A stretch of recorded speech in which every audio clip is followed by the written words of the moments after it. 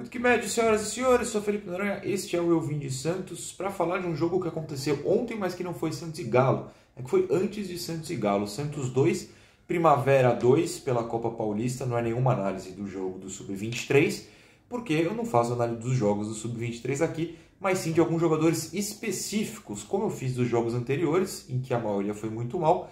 Ficaria um pouco chato não comentar que Augusto Galvão e Bruno Marques marcaram neste jogo. Não quer dizer que eles jogaram bem. Spoiler, não jogaram.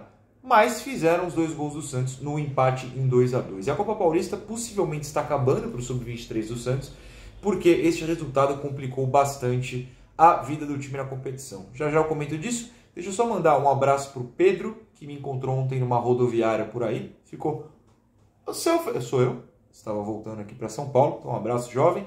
E um parabéns para o Richard, que é membro do canal e que nos agrada, nos é, presenteia com o seu sotaque carioca nas lives exclusivas. Richard, desculpa não ter dado ontem o seu parabéns, porque vídeo de pós-jogo minha cabeça vai um pouco longe às vezes foge, mas estava aqui anotadinho.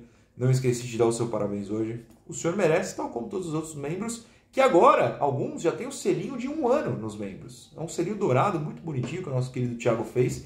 Muito obrigado a todos que já estão há um ano aqui sendo membros do canal. Eu abri em outubro do ano passado. Então, Richard, parabéns. Tamo junto. Enfim, Augusto Galvão e Bruno Marques fizeram os gols do Santos e dois belos gols neste empate com o Primavera. Um empate tomado no último lance, no finalzinho, na verdade, que complicou bastante o Santos. Só para vocês entenderem, eu vou olhar o grupo aqui, ó. O São Bernardo é o líder do grupo, faltando uma rodada. Um grupo com quatro times, já foram cinco jogos, com dez pontos. O Primavera, com esse empate, assumiu a segunda posição com 7. E eles se enfrentam na última rodada, né? Em São Bernardo. O outro São Bernardo, o Esporte Clube São Bernardo, é o terceiro com 6 e o Santos é o Lanterna com 5 que fazem.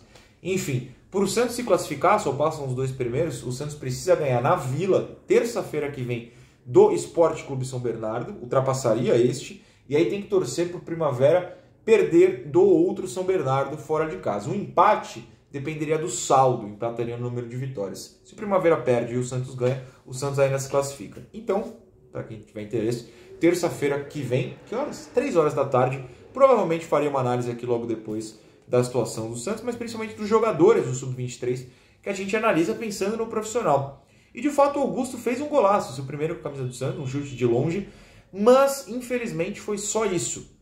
É, podem procurar por aí matérias, Diário do Peixe, Futebol Interior, quem cobriu este jogo. Também não, não viu nada demais do Augusto no restante da partida. Foi um gol, foi um belo gol e um gol naquele estilo que a gente via nos vídeos lá da gloriosa, maravilhosa terceira divisão espanhola. Recebeu na direita, foi driblando para o meio e aí arriscou. Entrou. Belo gol, mostrou que tem capacidade de chute, mas infelizmente foi só isso durante o jogo. O Bruno Marques também é, não conseguiu produzir muita coisa, mas no segundo tempo fez um belo gol, realmente belo gol, num passe mais belo ainda do Renier, que recebeu, deu de primeira com a bola quicando num gramado meio esburacado do Primavera, deu um salto, o gol tá na Eleven Sport, vocês conseguem achar lá, é, deu de primeira de esquerda, e o Bruno Marques tocou também de esquerda na saída do goleiro pelo alto. Um gol que ele não costuma fazer, mas fez. Mas insisto, nenhum deles está preparado. O René, inclusive, foi reserva nesse jogo, ele entrou no intervalo no lugar do Lacava, que também não jogou lá muita coisa. O Santos é, no ataque não teve ninguém que produzisse muita coisa, só para registrar. Para mim, o destaque foi o Ed Carlos, que tem jogado é, mais de volante, ele é o cara que busca essa bola, ele veio do São Paulo recentemente. Para mim foi o melhor em campo, nem o Lucas Pires também se destacou. Mas a, esses caras que eu citei não fizeram partidas horrorosas, não, foram médios. Dois fizeram gols, um deu assistência. Para mim, o Ed Carlos foi o melhor do, em campo é, no meio-campo. O Luizinho dessa vez não jogou, ele estava no banco do profissional à noite, né, graças aos desfalques, e estava sendo o melhor, até tenho citado isso aqui no Sub-23, lá no meio-campo.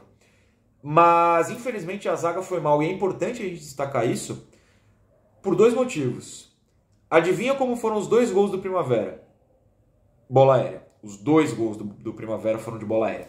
E nos dois gols a zaga tá perdidinha. Aí você pode falar, ah, mas não, não, os zagueiros não vão aparecer no profissional. Não só vão, como já apareceram. A dupla de zaga foi Derek e Robson. Dois jogadores que fazem parte do profissional com alguma frequência. O Robson até mais que o, que o Derek. E nos dois lances de bola aérea, eles não estavam nem perto do lance. Um dos lances, uh, o Doca, né, o lateral direito, acabou falhando, tomou uma bola nas costas.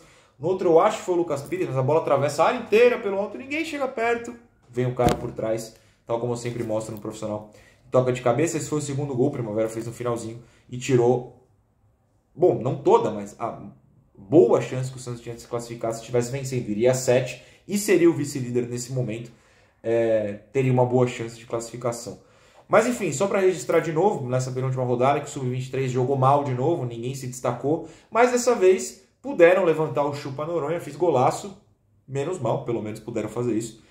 E já é alguma coisa.